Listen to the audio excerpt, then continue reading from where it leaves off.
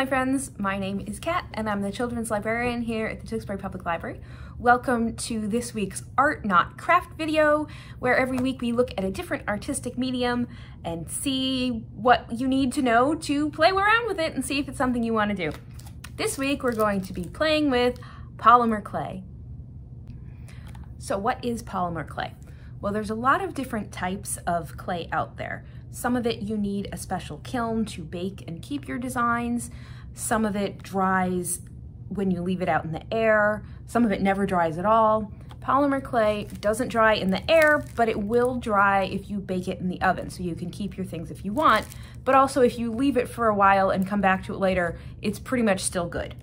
You can get it either in large bricks. This is about half of a brick of one pound of white clay, and you can also get terracotta and like a tan. Or you can get it already colored. You can get pretty much any color there is. There are so many. There are glow-in-the-dark ones. There are ones with sparkles in it. I usually use the Sculpey brand. You can use Sculpey, Fimo. There's a whole bunch of different brands of polymer clay. You can also buy a kit this is one we happen to have here at the library that comes with all the different colors in it. This one has a book attached with it and it'll teach you how to make all kinds of little charms and things, but really it's up to you. Um, you can also mix the colors together. So if you wanna start with just white or you know, yellow, blue, red, and white, and you can mix whatever colors you want. You probably want black as well. Um, these are not expensive. These are probably about a dollar to two dollars depending on where you're shopping. So it's worth the investment if you're gonna give it a try. You can bake them in your regular home oven so you don't have to worry about any kind of specialized equipment and keep your things forever. Sculpey is really great too because you can um, sand it, you can paint it, you can do all kinds of things with it once it's already baked and it's completely up to you what you want to do with it. Now, I went online and was looking at a lot of tutorials for beginners for polymer clay just to make sure I didn't forget anything, and a lot of them want you to have all kinds of special stuff. And I'm here to tell you, I have been sculpting in polymer clay for about 25 years, and I'm not exaggerating. Um, you don't need special stuff. You need clay, you need an oven to bake it in, um, and a cookie sheet to bake it on, and I always put down aluminum foil to make sure that my baking sheet stays clean. This is non-toxic, but it can give off fumes, so you wanna make sure if you're going to be doing this a lot, you might want a dedicated toaster oven. Um, but if you do just once in a while, really, your regular oven is fine. You don't need any special sealers, you don't need any special tools. This is supposed to be fun. Most polymer clay will come in a two ounce package like this, which is sectioned off into four half ounce sections, just for the ease of breaking off a piece and using it. Um, if you end up getting a multi-pack with a bunch of different ones, they usually come with about half that, so one ounce of clay in each of your colors. This doesn't look like a lot, but a little bit goes a really long way when it comes to polymer clay. And again, you can mix your colors together, so Get whichever ones strike your fancy, but don't worry too much because we can change them to be exactly what you want. When you're ready to store them, keep them in the original package if you can. If you have a large chunk like this where my package won't fit over the top, I just put it in a Ziploc bag. And then I keep everything stored in a Tupperware. I'm embarrassed to show you the state of my Tupperware because, like I said, I've been doing this for a really long time and I have a lot of little bits and bobs here. But that's okay, that's really all you need. And as we said before, my art is not supposed to be intimidating. This is what I use, this is what anybody really needs. If you want to buy tools, you can find them in the art supply store next to the clay. You'll probably find a set something like this. Um, these are double-sided, so the round ends help you to make indents, but also will smooth out fingerprints and things. There's this long, sharp one, which helps with detail work. Um, the rollers on the sides you can see are kind of bumpy to help you roll things out like a rolling pin. Um, there's some different ends on this side to again help with different indents you want to make. You really don't need these. um, if you want them, you can get them and they are useful, but you can use toothpicks, you can use plastic cutlery, whatever you have lying around. As I said, I have been doing this for a really long time and it was only in the last couple years that I ended up buying these tools. And I do use them, as you can see, there's some clay kind of stuck on there, but they're useful but not necessary. The first thing you want to do with your clay is condition it.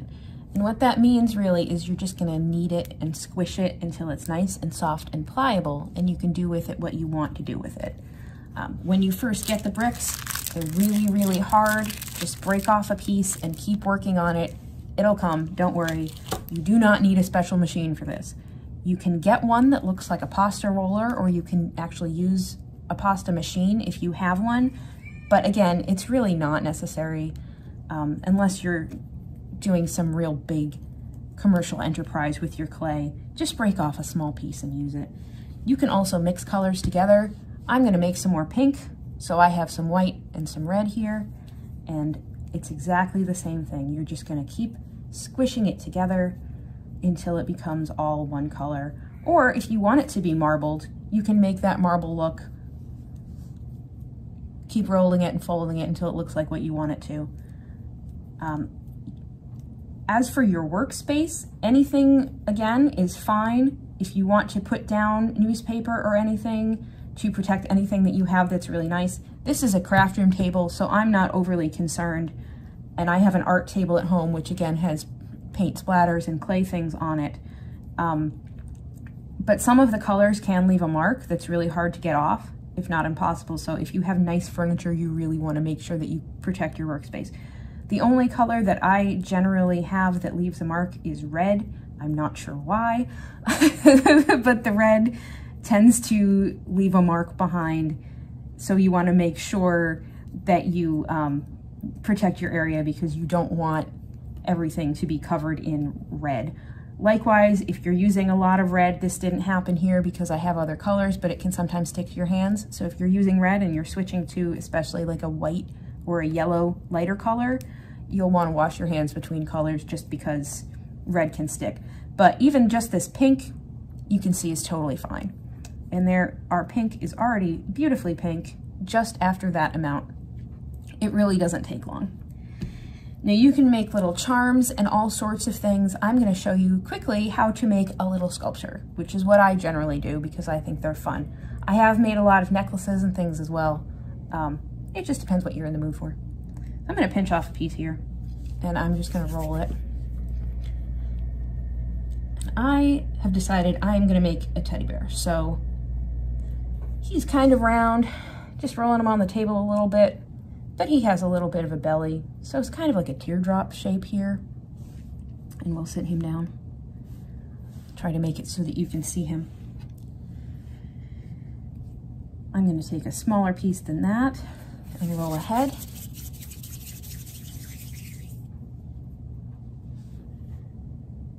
And just stick it right on. If you want to, if you want this to look like it's all one piece, you can go through, go around with your fingers and connect those two pieces. If this is going to be a larger piece, you can also put something in there, a piece of wire or a toothpick or something to make it more sturdy and stable. My little figures are usually small enough that I don't have to worry about that. If you are making something bigger, you don't want to go too much thicker with clay than this. Um, you can make an internal structure out of tin foil and make sure you cover it with clay. And you want to make sure you have at least a quarter inch of clay because otherwise it can, you can see the tin foil through sometimes and that's no fun. All right, I'm making two little ears and I just took one piece and split it in half so that I know they're gonna be the same size. And just make a little rounded shape. Here we go. That's a little big, but you know what? That's okay. I think he's cute.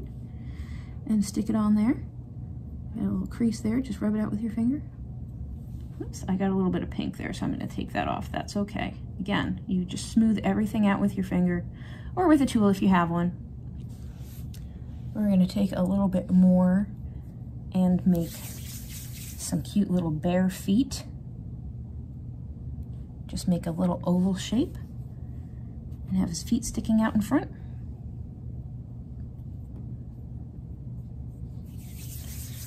I don't know about you guys, I find this very relaxing. Um, to just kind of sit and relax and make something that comes together. It doesn't matter what you're making, really, you just want to break it down into shapes. So we have little ovals for the feet, we had a circle for the head. I'm gonna make little arms here. Which again is just an oval. It's a little thicker at the paw end than at the shoulder. And you can stick it right on the side. And I'm gonna rub that in. Um, they do make special liquid clay that you can use, which helps to stick your items together. I honestly haven't made anything that's that's big and important that it really needs that. You're welcome to try it. It's a little bit expensive, but if you are making larger pieces, it could be really worth it. And again, we're gonna put that right on the other side. That's a little bit bigger. We'll just pinch a piece off, not a big deal and roll that together into a little log, tapered at one end. Here's his little arm. And I'm gonna have him holding something. So I'll put his arms kind of going forward. There we go. I'm gonna smooth down in the back so we can get rid of any wrinkles. So we have our little bear shape. I'm gonna take a lighter brown and make a muzzle for his nose. See, a little bit goes a long way. That's really big. We need like half of that. And I find that I do that a lot. I start with a bigger piece and then I just end up taking away and taking away until I just have a little tiny bit left. I'm gonna flatten that out so we have a little circle for the nose right there for the muzzle. And I have some black here and I'm gonna make a little triangle for the nose. So you can see what I'm doing. It's just a little flat circle. I'm gonna flatten, pinch it between my fingers to make the pointy end and push it down. It makes a little triangle, flatten it out, see? And then decide which one it way is the top and just attach it right on there. And there, see, we have our little bear face. I am going to use the tool. You can use a toothpick for this and just make two little eyes for whatever reason, I always tend to make my eyes really close together. That's just my style. And I'm gonna take some more of this brown, just a little bit to put in inside his ears. Just a little circle there. Whoops. Buff out that little crack, no problem. A little circle for the ears.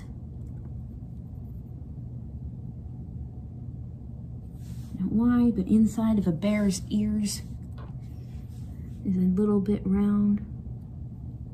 We just push that in. Again, I'm using the tool because I have the tool. If you don't have the tool, it's really okay.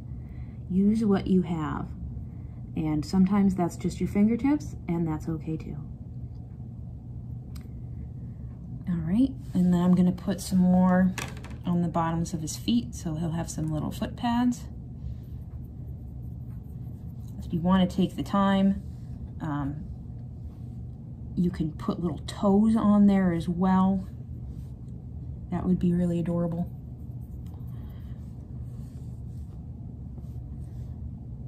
There we go. So we have our little teddy bear.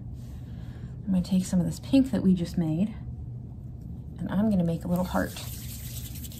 So I have a circle, I'm gonna kind of flatten it out and we know it's pointed at one end, right, and pushed in in the middle. There we go, and just keep shaping it until it looks like you want it to. You can use your fingernails. Here we go. I'm gonna push it down a little bit so it gets more of the rounded on the top and then a little bit more pinched at the bottom so it's a little more stylized of a heart shape. And then we're gonna give it to the teddy bear to hold. So I'll move his arm out. It's a little bit big for him, but that's okay.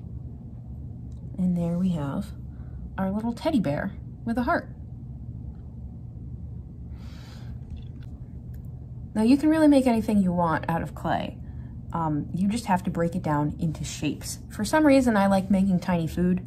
I'm gonna take some of this lighter brown and make it nice and warm so that it's conditioned. I was already playing with this, so it didn't take long. And I'm gonna make this into a nice flat triangle. There we go. Doesn't that look nice? It has a ridge at one end. I'm gonna make myself a slice of pizza. So I'm gonna have some red sauce, and again, you probably don't need a lot. Make it into a flat triangle. A little bit goes a really long way. Doesn't have to be perfect because pizza never looks exactly perfect anyway. But there we go, we have a little, some red sauce to put on our pizza pull that off to the side here. This is more of a deep dish. And then I have some yellow. Uh, if I was making this as something real special, I probably would mix the yellow to get kind of a more cheesy color. This is pretty neon, but you know, this is all supposed to be fun. And again, we're gonna make this into a nice triangle kind of shape. It doesn't have to be perfect because since when does cheese on pizza ever look perfectly triangular? And lay that right on top. There we go, kind of dripping down the sides a little bit. You can take some green to make little tiny peppers. And again, I pinched off a little tiny bit and I still need about like half of that. Little tiny shapes you can work in really good detail with this, especially if you use a tool or a toothpick to put things exactly where you want them.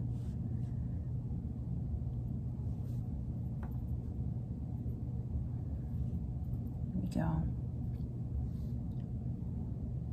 And then if we want to add some more topping, we'll say I have some red, we'll make some little tiny pepperonis just for the color of it. And you can make whatever you want. I'll make that a little bit bigger. Um, just remember that you need to break it down into the basic shapes that you see. You don't have to put all the red sauce on the bottom there. See, we covered it all up. There's not much point to doing it, except I know it's there, and it's peeking out from the sides. So, I think it was worth it, but it's totally your call. Um, I've made little sandwiches and little pies and all sorts of little things out of clay. Uh, I don't know why I like making food. I like making animals. Those are the two things that I tend to make the most when I'm when I'm playing with clay. There we go. We'll have that one kind of falling off the side. And there we have our tiny slice of pizza. Now that these are done, we want to bake them in the oven. And any oven at all, I'm going to put them on a cookie sheet lined with tinfoil or parchment paper, um, 275 for 15 minutes per quarter inch.